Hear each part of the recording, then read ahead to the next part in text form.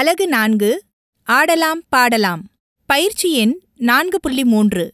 நாங்களே உருவாக்குவோம். வணக்கம் குழந்தைகளே. மூன்றாவது அழகுல நாங்களே உருவாக்கும் பயிற்சியில பட்டு பாப்பாவின் செயல்களை பா வரிசையில சரியா எழுதியிருந்தீங்க. உங்க அனைவருக்கும் பாராட்டுகள்.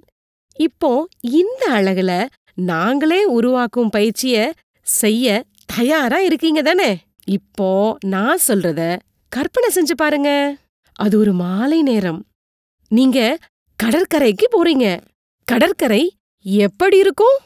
நீங்க ஏற்கனவே நேரடியாவும் பார்த்திருப்பீங்க தொலைக்காட்சியிலும் பார்த்திருப்பீங்க. அப்படித்தானே? இதோ இப்படித்தான் இருக்கும் இல்லையா?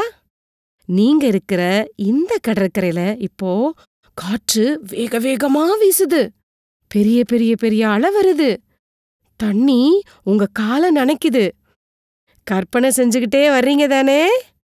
நீங்க மெல்ல மெல்ல தண்ணில நடக்கறீங்க.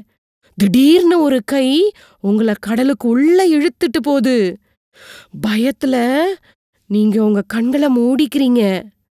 கொஞ்ச நேரம் கழிச்சு கண்களை மெல்ல திறக்கிறீங்க. பிறகு என்னாச்சு? தெரிஞ்சுக்கணுமா?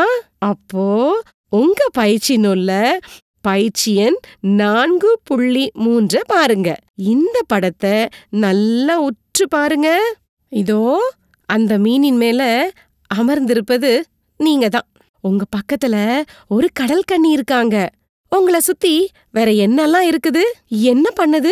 உங்க மனசுல தோன்றத எழுதுங்க. எப்பவும் போல தொடர்களாகவோ கதையாகவோ எழுதலாம். அருமையாக எழுத வாழ்த்துகள்.